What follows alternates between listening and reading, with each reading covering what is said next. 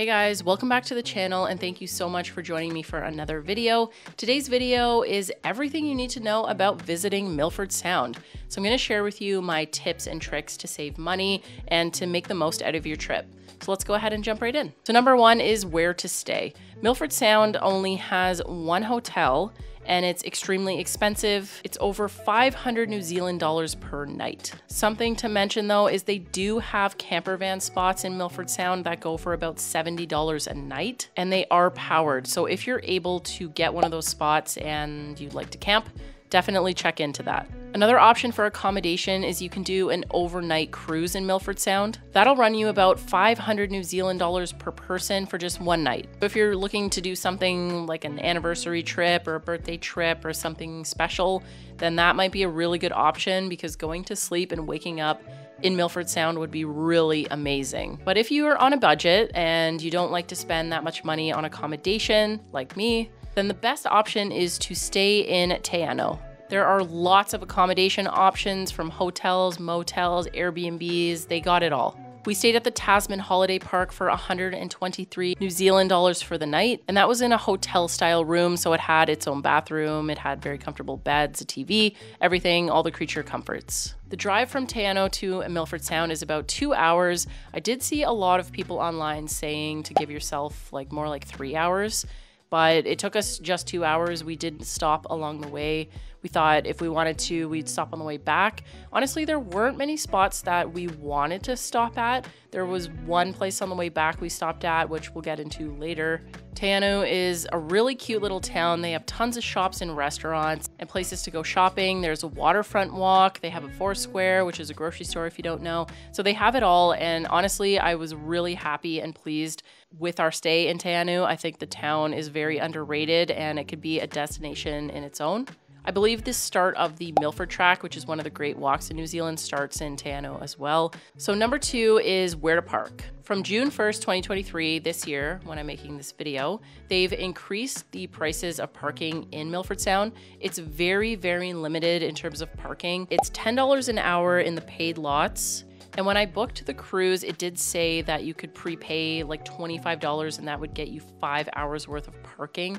To me, that's a little bit crazy. So this is my tip for you if you don't want to pay for parking. There is a free parking area called Deepwater Basin that you can drive into. It's pretty no frills and it's about a 20 minute walk to the visitor center. But if you want to save yourself like 20, 30 bucks, park there, get there early because it's very limited. When we parked there, there were lots of camper vans in that area. I don't know how many people know about this. I don't know if I should even be telling the internet because I kind of want to keep it a secret. But if you're watching this video and you're going to go there, make sure you do that if you want to save some money. I'm doing y'all a service. Number three, the cruise itself. There are tons of tour operators in Milford Sound. We ended up going with RealNZ because they were having a sale on their website for 10% off. Code is Milford10. I don't know if it's still active or not whenever you're watching this video, but they might have a different deal going on, or you can shop around and see what other operators are having a sale. I'm not affiliated with RealNZ at all, um, but if someone from RealNZ is watching this video, hit me up. We ended up paying 98 New Zealand dollars each with that discount code. I believe the regular price is 119 New Zealand dollars per person. I do recommend booking directly with a tour operator instead of a third party website. Same with hotels and everything like that. If you book with a third party and something goes wrong, it can be a really huge hassle to fix things. Whereas if you book directly with the operator, usually they will make it work right away or you won't even have an issue to begin with. I also recommend to plan and book to the forecast if you can. We ended up booking our cruise last minute because our schedules were really flexible and we didn't want to go when it was completely overcast and pouring rain. Although I have heard it is quite spectacular in the rain. For me personally, I just prefer it to be a little bit sunny. I also recommend going to the visitor center a little bit early, like 30 minutes to an hour early, so you can walk around, take in the sights, and get a lot of gorgeous photos. I recommend bringing your camera, bring your cell phone, bring all of the devices you want to take amazing footage because it is incredibly stunning. It was one of the top things we've done in New Zealand. And you're definitely going to want to record it so that you can remember it in the years to come. I also recommend booking the earliest cruise that you can. We did the 11 a.m., which I believe was the first cruise they did that day. It was virtually empty. And then when we got back around noon, the noon cruise was full. Like there were 40 times as many people going on that cruise as the first one in the morning. So if you want to avoid the crowds, go to the very earliest cruise you can go on. A few things that I also recommend bringing are a waterproof jacket, you do get really close to a waterfall near the end and you're going to get a little bit wet. So if you want to protect your clothing and camera equipment and everything, make sure you bring a waterproof coat and waterproof gear. If you're going to go in the off season in the fall or summer or spring, it can be a little bit chilly. So you do want to bundle up, wear a sweater and maybe a jacket.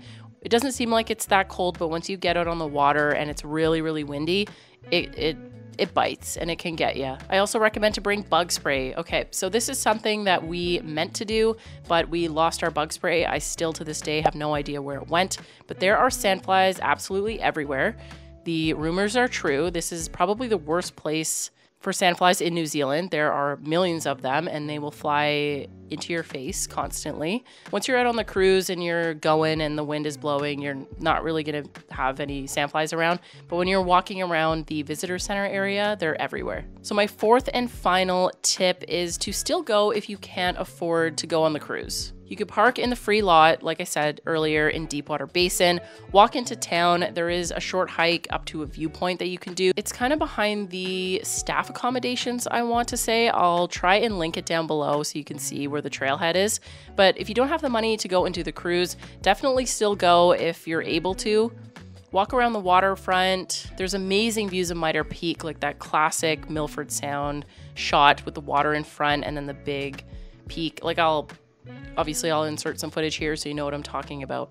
I really think it's worth it to do the cruise if you can make it happen, but if you can't, I still say go and check it out at least just to walk around and see the area because the drive is epic and it's so beautiful. But if you are going to go this way and stop, just be aware of the Keas. The Kea birds will basically take no prisoners. They will rip your car to shreds. They will rip every piece of plastic. They'll chew every little chunk they can. So if you're in a rental car, I would not bother stopping just to save yourself any kind of insurance claim because of the Kea birds. They're very cheeky and they're very funny, but they will destroy your car. So this probably goes without saying, but allow yourself more time if you're going to be traveling to Milford Sound in the winter or during a storm or in the high season like summer or on any holiday. So I hope this video helps you guys plan your trip to Milford Sound and thank you so much for joining me. I'll see you really soon in the next video. Bye.